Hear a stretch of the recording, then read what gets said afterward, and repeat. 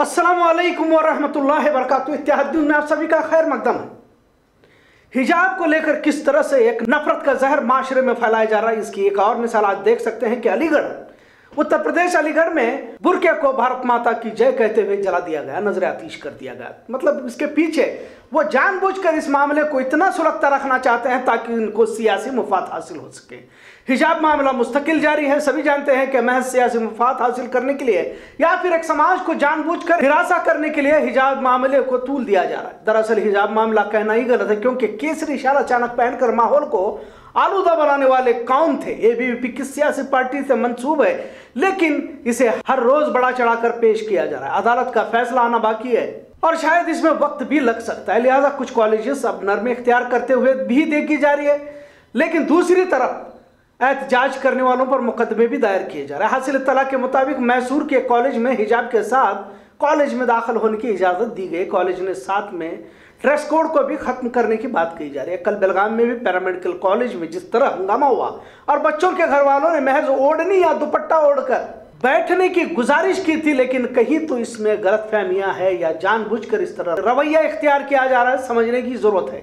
इस मसले को ऐसे वक्त में उछाला गया है कि जब इम्तिहान बिल्कुल करीब हैं, एक तरफ़ इंतजामिया कुछ कहती है तो कॉलेज के जिम्मेदार कुछ कहते देखा जा रहा है। लड़कियों को कॉलेज के अंदर तक पर्दे के साथ दाखिल होने की बात तो कही जा रही है पर जब कॉलेज में लड़कियाँ पहुँचती हैं तो इन्हें बाहर कर दिया जाता है और पहले से ही मीडिया मौजूद रहती है। क्या मसले को इतना बड़ा बनाने से पहले कॉलेज इंतजामिया प्रिंसिपल बैठकर मामले को सुलझा नहीं सकते थे? लेकिन अदालत के फैसले की दलील देते हुए दुपट्टा तक पहनने ना देना क्या वाकई दुरुस्त है? या हुकूमत को या अक्सरियत तबके को खुश करने के लिए फैसले लिए जा रहे हैं? मैं हिजाब को लेकर तुलबा पढ़ाई से महरूम हो रहे या जहनी कश्मकश में मुलविस है? कुल मिलाकर नुकसान तुलबाओं का हो रहा है। और खासकर मुस्लिम लड़कियों का जो हमेशा हिजाब में रहती है। आपने ये भी देखा होगा कि कॉलेजेस के गेटों पर बुरखा निकालने के लिए कॉलेज के गेटों पर बुरखा निकालने के लिए कहा गया और बुरखा निकालने की वीडियोस को वायरल भी किया गया। अदालत से अब तक फैसला नहीं आ रहा है।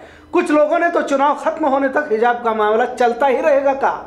वही अब बिंदी कुमकुम और सरस्वती पूजा या गणेश की पूजा या तस्वीरें लगाने पर भी सवाल उठाए जा रहे कर्नाटक के टुमकुर में लड़कियों ने हिजाब पर एहतजाज किया था। अब इन लड़कियों पर भी मुकदमे दायर किए गए। क्या जिन लड़कियों ने हिजाब को लेकर एहतजाज किया तो इन पर भी मुकदमे दायर करना गोया इंतजामिया पर ही सवाल खड़े करने के बराबर है। तुमकुर की दस लड़कियों पर एहतजाज करने पर मुकदमे दायर करना एक तरह से लोकतांत्रिक ढांचे पर भी सवाल निशान हो सकता है। क्योंकि एहतजाज भी लोकतंत्र का हिस्सा है? खैर, कुल मिलाकर मामला अब भी सुलगता नज़र आ रहा है। क्या वाकई चुनाव के मद्देनजर ही इसे बढ़ावा दिया जा रहा है? वही दूसरी ओर हिजाब को बाहरी मुल्कों से शय मिलने की बात भाजपा और फिरका परस्त ताकतें कर रहे साथ में मीडिया भी इस तरह के प्रोपोगंडे बनाने में उनकी हिमायत करती नज़र आ रही है। मतलब हर मामले को हिंदू मुस्लिम पर ला खड़ा कर दिया जाए। हाल ही में 2008 अहमदाबाद धमाके का फैसला आया, जिसमें 38 लोगों को फांसी की सजा सुनाई गई। ग्यारह अपराधों को उम्र कैद दी गई। यकीनन, जो भी जुर्म करता है उसे सजा मिलनी चाहिए। कोई भी मुसलमान धमाकों की हिमायत नहीं करता, ना पहले किया और ना आगे करेगा।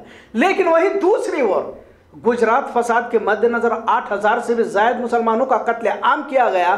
सैकड़ों औरतों की असमत रेजी की गई और कत्ले आम करने के बाद अपने आप को महाराणा प्रताप समझने वाले बाबू बजरंगी जिसने खुद कत्ले आम करने की बात खुले आम कबूल की थी, लेकिन फांसी तो दूर की बात, इन्हें जमानत पर रिहा किया और सभी खुले आम घूम रहे हैं। अब इस फैसले को भी चुनाव के मद्देनजर लिया जा रहा है, ताकि दहशतगर्दों के साथ हमने कैसे सख्ती से काम लिया और सजा दिलाई वाजह रहे कि एक साथ अड़तीस लोगों को फांसी की सजा देना मुल्क की तारीख में पहली बार कहा जा रहा है। इस केस को रेयरेस्ट ऑफ़ रेयर केस के तौर पर देखा जा रहा है। जुर्म कोई भी करे, इंसाफ ज़रूर मिलना चाहिए। अगर अहमदाबाद धमाकों के मुजरिमों को सजा दी गई है तो गुजरात फसाद वालों को क्यों जमानत दी जाती है? मतलब इंसाफ के तराजू का तवाजन बरकरार होना ज़रूरी है। हिजाब मामला भी अब शक के दायरे में आता दिखाई दे रहा है। जानबूझकर केसरी शाल को पहनकर आने वाले यूँ ही अचानक नहीं आए, बल्कि इसके पीछे साजिश है और जानबूझकर मामले को बढ़ावा दिया जा रहा है ताकि चुनाव में भी हिंदू मुस्लिम नफरत के सहारे इकतदार हासिल कर सके।